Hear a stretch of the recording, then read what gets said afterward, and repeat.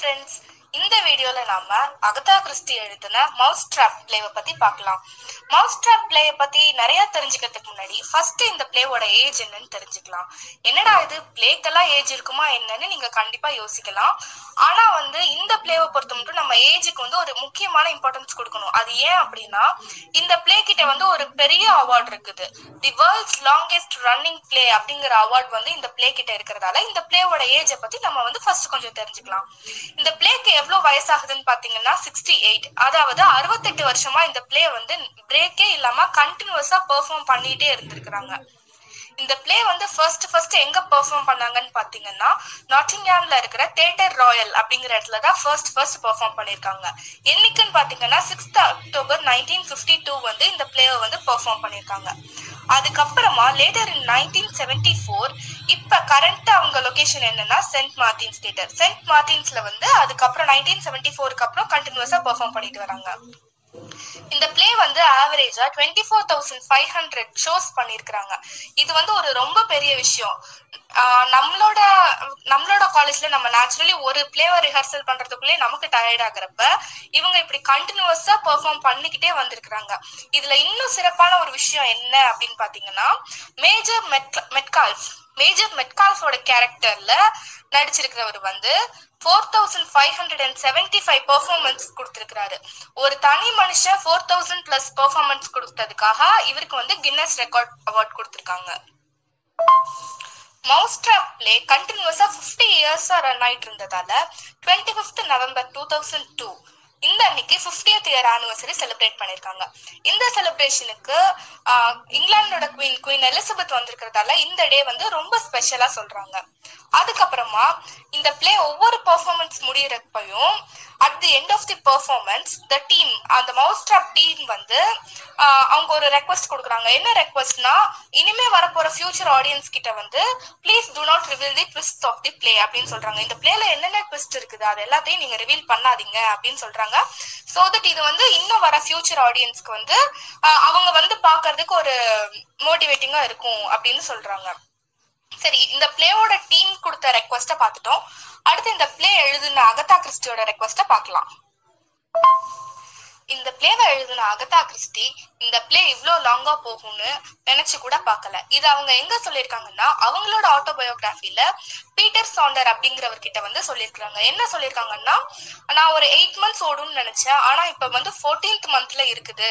இது இன்னும் எவ்வளவு நாள் போகும்னு தெரியல அப்படின்னு சொல்லியிருக்கிறாங்க. ஸோ இவ்வளவு நாள் போயிருக்கு அப்படிங்கறதால இவங்க வந்து ஒரு ரெக்வஸ்ட் வைக்கிறாங்க. என்ன ரெக்வஸ்ட்னா இது வந்து லாங்கஸ்ட் ரன்னிங் பிளேவா இப்ப வரைக்கும் இருக்குது. ஸோ தட் இந்த பிளே எத்தனை நாள் வந்து பிளேவாவே ரன் ஆகுதோ பிளேவாவே ரன் ஆகட்டும். அது வரைக்கும் யாரும் இந்த பிளேவை வந்து லீகலா பப்ளிஷ் பண்ண வேணாம் அப்படின்னு சொல்லியிருக்கிறாங்க. அது அதை வந்து அக்செப்ட் பண்ணிக்கிட்ட டீம் வந்து இன்னைக்கு வரைக்கும் லீகலா பப்ளிஷ் பண்ணல. நம்ம நெட்லயே சர்ச் பண்ணோம்னா கூட மவுஸ் ட்ராப் டெக்ஸ்ட்னு போட்டோம்னா ஸ்கிரிப்ட் ஆஃப் தி பிளே தான் வருமே தவிர நமக்கு வந்து இந்த மாதிரி டெக்ஸ்ட் இவங்க வந்து இப்ப பப்ளிஷ் பண்ணிருக்காங்க அப்படிங்கிற மாதிரி டெக்ஸ்டோட கண்டிப்பா வராது. ஆனா வந்து யூகேல இவங்க பப்ளிஷ் பண்ணலனாலும் யூஎஸ்ல வந்து நைன்டீன் பிப்டிலே வந்து three blind mice and other stories அப்படிங்கிற கலெக்ஷன்ல இந்த மவுஸ் ட்ராப் இருக்குதுன்னு சொல்றாங்க. இந்த மவுஸ் ட்ராப்போட லாஸ்ட் பெர்ஃபார்மன்ஸ் எப்போ அப்படின்னு பாத்தீங்கன்னா மார்ச் சிக்ஸ்டீன் டுவெண்ட்டி டுவெண்ட்டி அது வரைக்கும் கண்டினியூஸா பெர்ஃபார்ம் ஆயிட்டே வந்திருக்குது. ஏன் மார்ச் சிக்ஸ்டீன் ஸ்டாப் பண்ணாங்கன்னா கோவிட் இஷ்யூஸ் வந்ததால மார்ச் சிக்ஸ்டீன்த் வந்து ஸ்டாப் பண்ணிருக்கிறாங்க. இது முடிஞ்சதுக்கு அப்புறம் திருப்பி கண்டினியூ பண்ணுவாங்களா இல்லையாங்கிறது எல்லாருக்குமே ஒரு பெரிய கொஸ்டின் மார்க்கா தான் இருக்குது. இதுக்கு அடுத்தது அகதா கிறிஸ்டி பத்தி வேதா கண்டினியூ பண்ணுவாங்க. அகதா கிறிஸ்டி வந்து எயிட்டீன் நைன்ட்டிலேருந்து நைன்டீன் செவன்டி சிக்ஸ் வரைக்கும் வாழ்ந்திருக்காங்க. இவங்க சிக்ஸ்டி சிக்ஸ் டிடெக்டிவ் நாவல்ஸும் ஃபோர்டீன் ஷார்ட் ஸ்டோரி கலெக்ஷன்ஸும் எழுதியிருக்காங்க. இவங்க பிறந்தது ஒரு வெல்தி ஃபேமிலியில் இது வந்து அவங்களோட சைல்டுஹுட் இமேஜ் இதுவும் அவங்க சைல்டுஹுட் இமேஜ் இது அவங்க டீனேஜ் இமேஜ் நைன்டீன் ஃபோர்டீனில் ஆர்கிபால்டு கிறிஸ்டி அப்படின்றவரை கல்யாணம் பண்ணிக்கிறாங்க. வேர்ல்டு வார் டைம் இல்லையா? ஹாஸ்பிட்டல் டிஸ்பென்சரிஸில் அடிப்பட்ட சோல்ஜர்ஸை கேர் பண்ணிக்கிற ஒர்க் பார்த்துருக்காங்க. ஃபார்மகாலஜி டிபார்ட்மெண்ட்டில் ஒர்க் பண்ணது மூலிமா நிறைய ட்ரக்ஸை பற்றி தெரிஞ்சுக்கிறாங்க. எந்த ட்ரக்லாம் தெரப்பாட்டிக் வேல்யூ இருக்குது எந்த ட்ரக்ஸ் வந்து பாய்சன்ஸ் இப்படிலாம் தெரிஞ்சுக்கிட்டாங்க.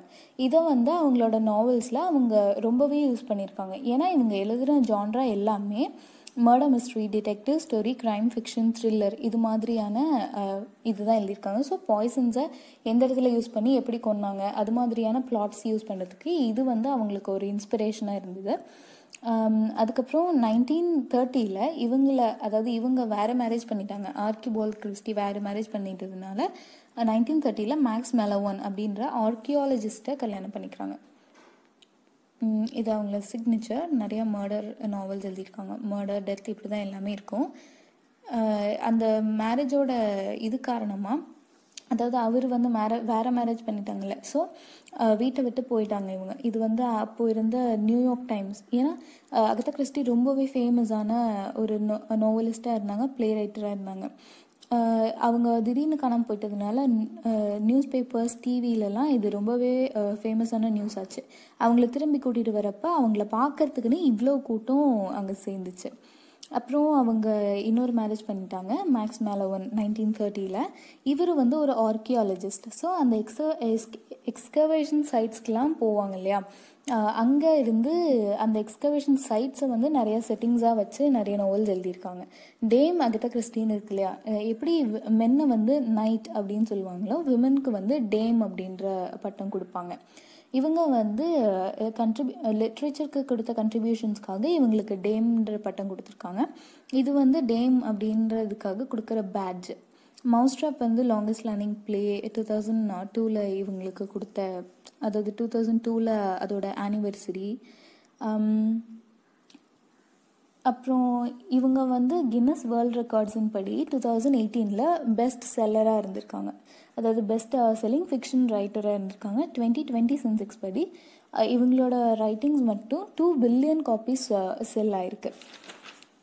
Um, இவங்கள வந்து duchess of death mistress of mystery queen of crime இப்படியெல்லாம் சொல்லுவாங்க.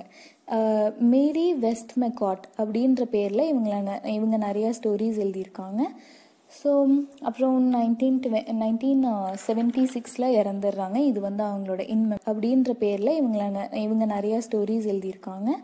ஸோ அப்புறம் நைன்டீன் டுவெ நைன்டீன் செவன்ட்டி சிக்ஸில் இறந்துடுறாங்க. இது வந்து அவங்களோட இன் மெமோரியம் ஆத்தர் பிளேரைட் அப்படிலாம் அங்கே மென்ஷன் பண்ணியிருக்காங்க.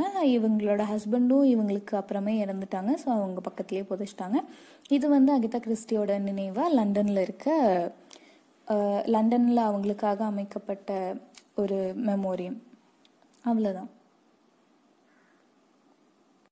mouse trap written by Agatha Christie characters of the play First one, Molly Ralston, a tall and pretty young woman in her twenties, the wife of Giles Ralston. Molly is the young owner of Monkswell Manor and a Victorian era estate that has recently been converted into a guest house. Second character, Giles Ralston, an arrogant, attractive man in his 20s, Molly's husband of one year, Giles in his the co-cost of Monkswell Manor. Third character, Christopher Warren, the first guest to arrive at the hotel. He is the hyperactive young man who acts in a very peculiar manner. He admits he is running away from something but refuses to say what claims to have been named after the architect of the some name by his parents. Fourth character, Mrs. Boyle. Mrs. Boyle is a large, imposing woman in a bad temper. She complains about everything. She is disapproving of every effect that Molly and Giles produce to make her comfortable. She survives everything with displeasure and looks at her surroundings disapprovingly. Fifth character Major Metcalf, a typical retired British military officer, and he is a guest at Monkswell Manor. Sixth character Miss Caswell. Caswell. He is described as a young woman who is masculine in appearance and with a masculine voice. She claims not to have lived in England for some years since she was 12 to 13 years of age, but she is mysterious about where she does live. She is also guest at Monkswell Manor. Seventh character, Mr. Paravinchini, a man of unknown providence who turns up claiming hmm. his car has overturned in a snowdrift. He hmm. appears to be a, affecting a foreign accent and artificially aged with makeup. The last character, Detective Sergeant Traitor. The dete- detective role during the play, he arrives in a snowstorm and questions the property properties and guests. He is a cheerful, commonplace young man who arrives at the guest house on his. Traitor spends most of his time on stage explaining to the other characters the motive for the murder of the woman in London. The Hello all, I'm Srivashni. Let me take the plot summary of the most famous play, The Mouse Trap, written by Agatha Christie. It is a mysterious play. Mysterious means a confusing crime, especially a murder. Actually, this play is about a murder and a murderer. Next, let's go to the setting of this play. Uh, it is in Monksville Manor, a guest house located 30 miles away from London in England. I'll explain you the summary of Act 1 alone, which consists of two scenes. Um, first Act 1 எப்படி begin ஆகுது scene one எப்படி begin ஆகுதுன்னா a young couple newly married young couple யார் அப்படின்னா Giles Ralston and Mollie Ralston they both are busy with arrangements ஏன்னா அவங்க புதுசாக வந்து ஒரு ஸ்மால் கெஸ்ட் ஹவுஸ் ஓப்பன் பண்ணியிருக்காங்க. அந்த கெஸ்ட் ஹவுஸில் ஃபோர் கெஸ்ட் வராங்க அப்படிங்கறக்காக they are very busy with making arrangements for this four guest அந்த ஃபோர் கெஸ்ட்டுக்கு அரேஞ்ச்மெண்ட்ஸ் பண்ணிட்டு இருக்காங்க அந்த ஃபோர் கெஸ்ட் கொஞ்ச நேரம் கழிச்சு வந்துடுறாங்க. ஃபர்ஸ்ட் கிறிஸ்டோஃபர் பிரென் வராரு.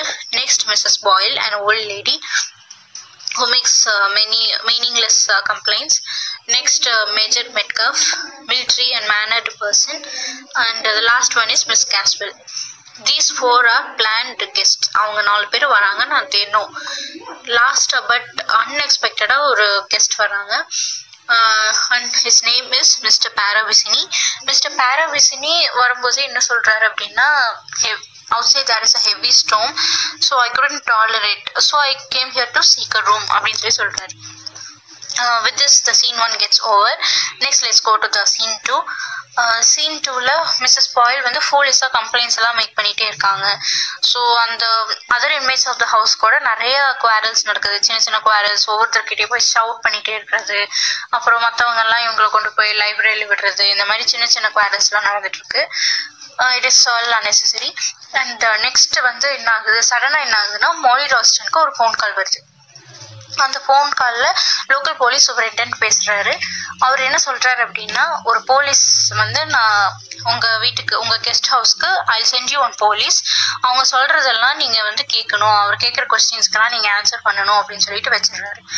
So they are so confused அந்த கெஸ்ட்லாம் ரொம்ப கன்ஃபியூஸ் ஆகுறாங்க. ரொம்ப scare they are so very much feared about what that police is going to ask அப்படின்னு சொல்லி அவங்க ரொம்ப ஃபியர் பண்ணுறாங்க மோலி ராஸ்டன் சொல்றாங்க இந்த மாதிரி வந்து போலீஸ் வருவாரு அப்படின்னு சொல்லி சொன்னோடனே ஒவ்வொரு கெஸ்ட் ஹவுஸ் கெஸ்ட்டும் ஒவ்வொருத்தருக்கு மேல டவுட் வருது. They suspect each other for some reason but they don't know what it is about அந்த மர்டர் ஒரு வேலை அதை பத்தியா இருக்கலாமா அப்படின்னு சொல்லி ரிலேஷன் அந்த இதுக்கா இருக்கலாமா அப்படின்னு சொல்லி ஒவ்வொருத்தருக்கா டவுட் வருது. இவர் பண்ணியிருக்கலாமா இவர் ஏதாவது பண்ணியிருக்கலாமா அப்படிங்கிற டவுட்ல வருது. நெக்ஸ்ட் வந்து அந்த போலீஸ் வந்துடுறாரு அவரோட பேர் வந்து சர்ஜின் ட்ராட்டர் ஹி அரைவ்ஸ் வந்தோடனே he assembles all other guest அப்புறம் அசம்பிள் ஆகிட்டு என்ன சொல்கிறாரு அப்படின்னா I came here to give a police protection நான் உங்களுக்கு செக்யூரிட்டி கொடுக்க வந்திருக்கேன். And also I'm going to handle I'm handle recently I'm handling a murder case அப்படின்னு சொல்லி சொல்கிறாரு அந்த விமன் கொலை செய்ய அந்த கேஸ் வந்து ஐம் ஜஸ்ட் ஹேண்ட்லிங் ஸோ அந்த கொலைக்கும் இந்த மாங்ஸ்டர் மேனருக்கும் I think there is some relation because அந்த மர்டரில் ஒரு அந்த மர்டரில் கிடைச்ச க்ளூஸில் இந்த கெஸ்ட் ஹவுஸ் வந்து மென்ஷன் ஆயிருக்கு அப்படின்னு சொல்லி சொல்கிறாரு ஸோ இந்த கெஸ்ட்டில் இந்த கெஸ்ட்டுக்கும் இங்க இருக்கிற அந்த ஃபைவ் கெஸ்ட்ஸ்க்கும் அந்த மர்டருக்கும் ஏதோ ரிலேஷன் இருக்கா? அப்படின்னு சொல்லி I'm going to ask you some questions you have to answer me in detail அப்படின்னு சொல்லி சொல்றேன் ஸோ நெக்ஸ்ட் அந்த மர்டர் வந்து என்னன்னா ஒரு விமனை ஒரு eldest of the three children three சில்ட்ரனை வந்து ஃபாஸ்டர் கேரில் ஒரு கப்பிள் வச்சுருக்காங்க. ஒரு ஹஸ்பண்ட் அண்ட் ஒய்ஃப் அந்த ஒய்ஃபை வந்து eldest of the three children கொலை பண்ணிட்டாங்க அப்படின்னு சொல்லி சொல்கிறாங்க அந்த எல்டஸ்ட் வந்து தேடுறதுக்கு தான் நாங்கள் இப்போ I'm we are just trying to trap that the eldest murder person அப்படின்னு சொல்லி சொல்கிறாங்க நெக்ஸ்ட் என்ன ஆகுதுன்னா மேஜர் மெட்காஃப் வந்து டக்குன்னு சொல்றாரு டெலிஃபோன் வயர் இஸ் கட் அப்படின்னு சொல்லி சொல்றாரு. டெலிஃபோன் ஒயர் கட் ஆகு ஒர்க் ஆகல கட் ஆயிருக்கு அப்படின்னு சொல்லி சொல்றாரு. ஸோ இந்த சர்ஜன்ட்ரோட போலீஸ்மேன் அவர் வந்து அந்த ஒயர் கூடயே போய் பார்க்குறாரு எங்க கட் ஆயிருக்கு அப்படின்னு சொல்லி பார்க்குறாரு மீன் வாயில் மிஸ்ஸஸ் பாயில் வந்து ரூம்குள்ளே போறாங்க. ரூம்குள்ள போய் பார்க்குறாங்க அதுக்கு முன்னாடி ப்ரைவேட்டாக மிஸ்ஸஸ் பாயில் வந்து சொல்கிறாங்க நான் தான் வந்து மேஜர் மெட்கப் கிட்ட சொல்கிறாங்க நான் தான் அந்த த்ரீ சில்ட்ரனை வந்து ஃபோஸ்டர் கேருக்கு அனுப்புனேன் அப்படின்னு சொல்லி. Foster care is nothing but child ஒரு சில்ட்ரனை வளர்க்குறது அவ்வளோதான் ஒரு கப்பிள் வந்து uh, மூணு பேர் ஒரு சில்ட்ரனை எடுத்து வளர்க்குறதா ஃபோஸ்டர் கேர் நெக்ஸ்ட் என்ன ஆகுது அப்படின்னா மிஸ்ஸஸ் பாயில் வந்து போய் ரூம்க்கு போய் விண்டோ க்ளோஸ் பண்றதுக்காக போறாங்க. அப்போ வந்து திடீர்னு ஒரு பர்சன் என்டர் ஆகுறாங்க. டக்குனு லைட்ஸ் எல்லாம் கட் ஆகுது. ஒரு சத்தம் கேக்குது. உடனே மோலி ராஸ்டன் இஸ் என்ட்ரிங் அந்த ரூம்குள்ள என்டர் ஆகி லைட் ஆன் பண்ணி பாக்குறாரு. பார்த்தானே Mrs Boyle is found dead ஒரு மிஸ்டீரியஸா ஒரு மறுபடியும் இன்னொரு செகண்ட் மர்டர் ஹஸ் ஹேப்பன் மறுபடியும் இன்னொரு மர்டர் நடந்திருக்கு. Uh, with this, the uh, scene to gets over. I think the act one is completed. Thank you, thank you all.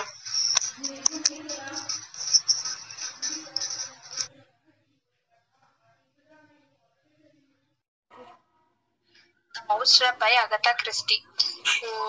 இது வரைக்கும் வந்து ஆக்ட் ஒன்ல twenty two years old boy வந்து இறந்திருக்கா அப்படிங்கிற நியூஸ் வந்து வந்துட்டு இருக்கு இப்போ ஆக்ட் டூ வந்து ஒரு ஈவினிங் டைம்ல நடக்குது. அப்போ வந்து கில்சன் மோலி அப்படிங்கிற ரெண்டு பேர் வந்து ஒரு ஹோட்டல் அடிச்சிட்டு இருக்காங்க. அந்த ஹோட்டல்ல அவங்க ரெண்டு பேர் வந்து இந்த மாதிரி கொலை எல்லாம் நடக்குது.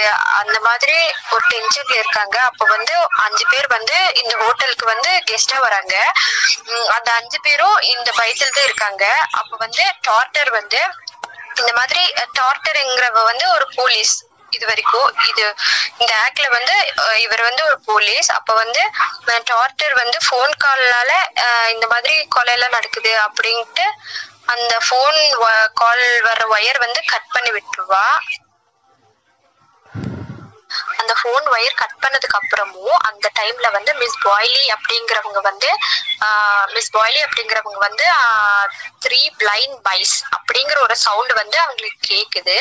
கேட்கும் போது கூட அவங்க வந்து பயப்படாம ஒரு அச்சம் கூட இல்லாம நோ ஃபியர் வித்தவுட் ஃபியர் வந்து அவங்க வந்து அந்த அதுக்கு வந்து ரெஸ்பாண்ட் பண்றாங்க. அப்புறம் வந்து அதுக்கப்புறம் வந்து மூலி அப்படிங்கிறவங்க வந்து என்ன இப்படி கேக்குது அப்படின்னு போய் பார்க்கும்போது லைட் ஆன் பண்ணும்போது அந்த ரூமுக்கு போய் லைட் ஆன் பண்ணும்போது இந்த மிஸ் பாயில் அப்படிங்கிறவங்க வந்து இறந்துருப்பாங்க. After the death of Boyle Miss Boyle அவங்க இறந்ததுக்கு அப்புறம் வந்து இந்த டார்ச்சர் வந்து அந்த ஹோட்டல்ல இருக்கிற எல்லாத்தையும் ஒரே ரூம்ல அசெம்பிள் பண்ணி வச்சிடுறாரு. அந்த ஹோட்டல்ல அசம்பிள் பண்ணதுக்கு அப்புறம் வந்து இவர் வந்து நினைக்கிறாரு இந்த ஹோட்டல்ல இருந்துதான் யாராவது ஒருத்தர் வந்து அந்த மிஸ் பாய்லி அப்படி பாயில் அப்படிங்கிற ஒருத்தரை வந்து கொலை பண்ணியிருக்க முடியும் அப்படின்னு வந்து நினைக்கிறாரு. அதுக்கப்புறம் வந்து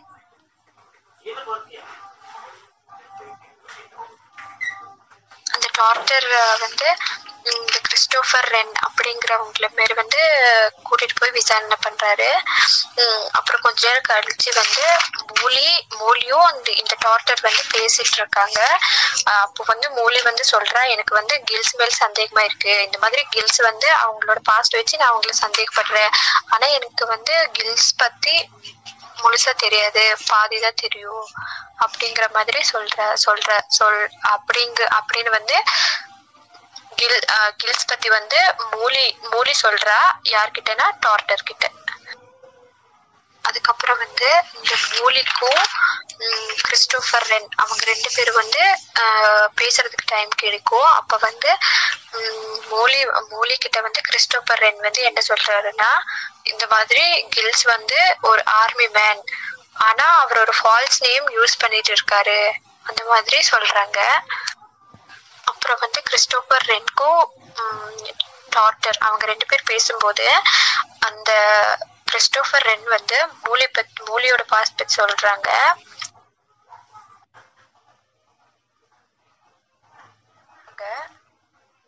அப்புறம் வந்து கிறிஸ்டோபர் ரென்கோ டாட்டர் அவங்க ரெண்டு பேர் பேசும்போது அந்த கிறிஸ்டோஃபர் ரென் வந்து மூலி பத் மூலியோட பாஸ் பத்தி சொல்றாங்க.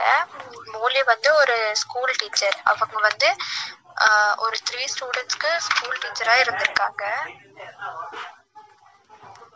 ஃபாஸ்டர் அப்படிங்கிறவங்களுக்கு வந்து த்ரீ சில்ட்ரன் அந்த மூணு குழந்தைகளுக்கு தான் இந்த மூலி வந்து ஸ்கூல் டீச்சரா இருந்திருக்காங்க. அப்போ வந்து அந்த மூணு சில்ட்ரனையும் அவங்க வந்து ரொம்ப கொடுமைப்படுத்ததுனால அந்த தேர்ட் சைல்டு வந்து இந்த மூலிக்கு வந்து ஒரு லெட்டர் எழுதியிருக்காங்க. மூலி வந்து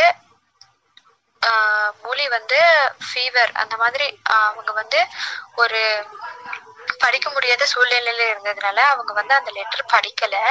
அந்த லெட்டர் படிக்கும்போது இந்த மாதிரி அவங்க வந்து அந்த தேர்ட் சைல்டு வந்து இந்த மாதிரி எங்களை இப்படி பண்றாங்க எங்களுக்கு ஹெல்ப் பண்ணுங்க அப்படின்னு ஒரு லெட்டர் எழுதியிருக்காங்க. அந்த லெட்டர் படிக்கிறதுக்கு முன்னாடி அவங்க இறந்துட்டாங்க.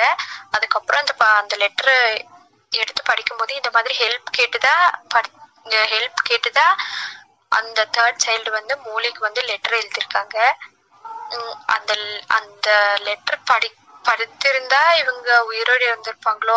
அந் அப்படிங்கிற ஒரு கில்ட்டிலேயே அந்த மூலி இருக்காங்க.